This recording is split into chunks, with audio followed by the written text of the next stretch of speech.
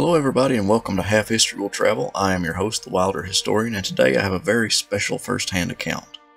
Let's go back to July 1863, and the Army of the Potomac has just engaged and finally defeated Robert E. Lee's Army in Northern Virginia at Gettysburg.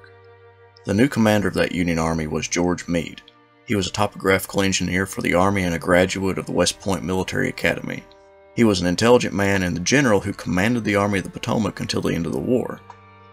Lincoln had sifted through multiple generals, including McDowell, McClellan, Burnside, and Hooker, before he finally landed on Meade.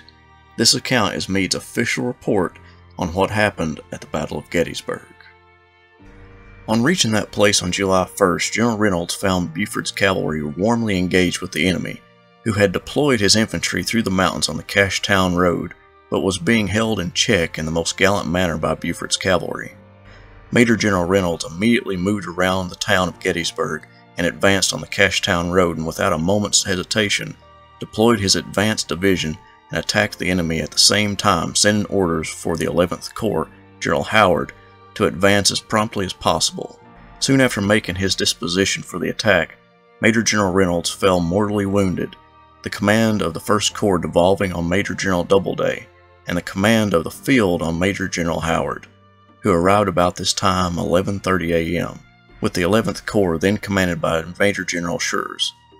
Major General Howard pushed forward two divisions of the 11th Corps to the support of the 1st Corps, now warmly engaged with the enemy on the ridge to the north of town, and posted his 3rd Division with three batteries of artillery on the Cemetery Ridge on the south side of town. Up to this time, the battle had been with the forces of the enemy deploying from the mountains on the Cashtown Road known to be Hill's Corps. In the early part of the action, success was on our side. Wadsworth's division of the 1st Corps had driven the enemy back some distance, capturing numerous prisoners, among them General Archer of the Confederate Army. The arrival of the reinforcements for the enemy on the Cashtown Road and the junction of Ewell's Corps come on the York and Harrisburg roads, which occurred between 1 and 2 p.m., enabled the enemy to bring vastly superior forces against both the 1st and 11th Corps.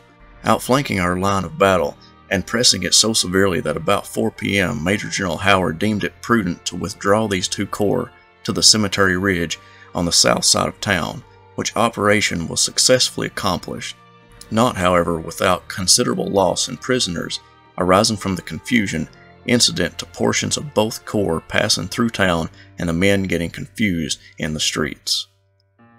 About the time of his withdrawal, Major General Hancock arrived, whom I had dispatched to represent me on the field on hearing of the death of General Reynolds. In conjunction with Major General Howard, General Hancock proceeded to post the troops on Cemetery Ridge and to repel any attack that the enemy made on our right flank. This attack was not, however, very vigorous, and the enemy, seeing the strength of the position occupied, seemed to be satisfied with the success he had accomplished, desisting from any further attack this day. About 7 p.m., Major General Slocum and Sickles, with the 12th and part of the 3rd, reached the ground and took post on the right and left of the troops previously posted. Being satisfied from the reports received from the field that it was the intention of the enemy to support with his whole army the attack already made, and the reports from Major Generals Hancock and Howard on the character of the position being favorable, I determined to give battle at this point and early in the evening of the 1st issued orders to all corps commanders to concentrate at Gettysburg, directing all trains to be sent to the rear at Westminster. At 10 p.m. of the 1st, I broke up my headquarters, which until then had been at Taneytown, and proceeded to the field, arriving there at 1 a.m. of the 2nd. So soon as it was light, I proceeded to inspect the position occupied, and made arrangements for posting the several corps as they should reach the ground. By 7 a.m., the 2nd and 5th Corps, with the rest of the 3rd, had reached the ground and were posted as follows. The 11th Corps retained its position on Cemetery Ridge, just opposite the town. The 1st Corps was posted on the right of the 11th, on an elevated knoll connecting with a ridge extending to the south and east, on which the 12th Corps was placed. The right of the 12th Corps, resting on a small stream at a point where it crossed the Baltimore Pike, and which formed on the right flank of the 12th, something of an obstacle.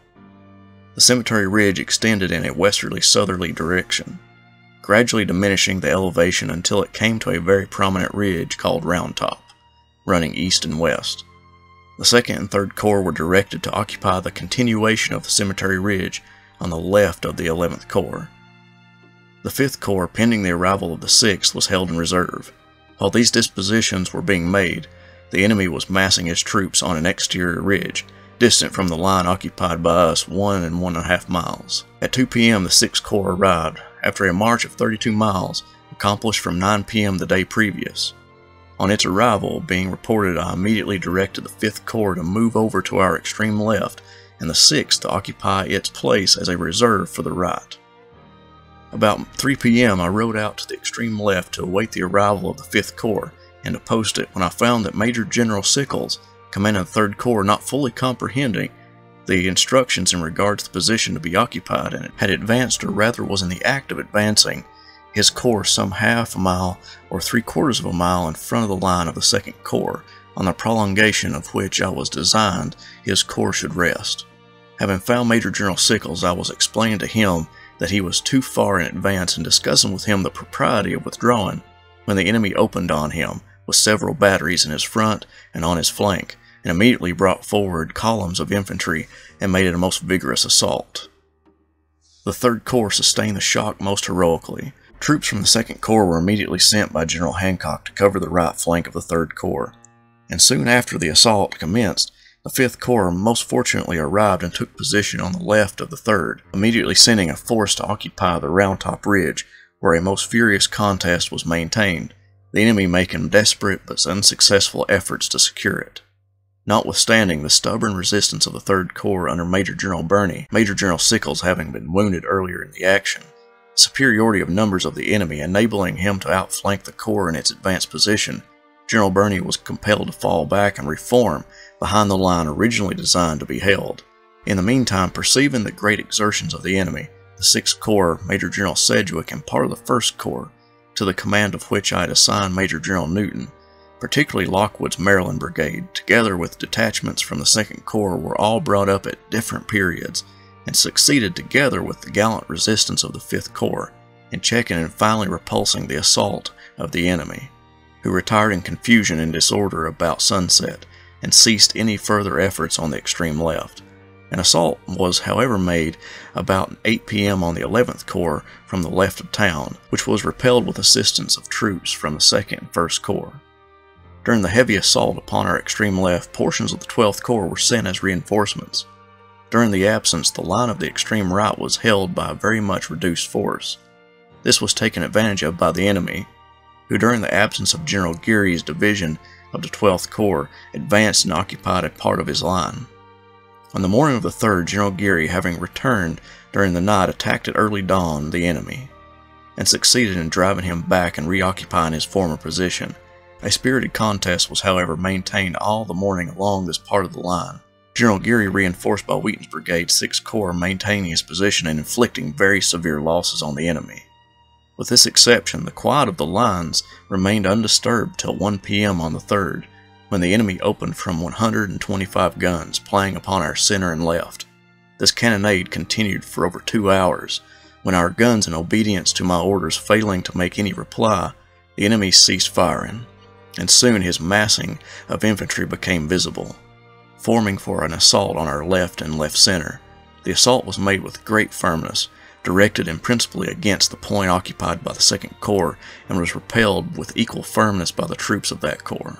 Supported by Doubleday's division and Stannard's brigades of the 1st Corps, during the assault both Major General Hancock, commanding the left center, and Brigadier General Gibbon, commanding the 2nd Corps, were severely wounded.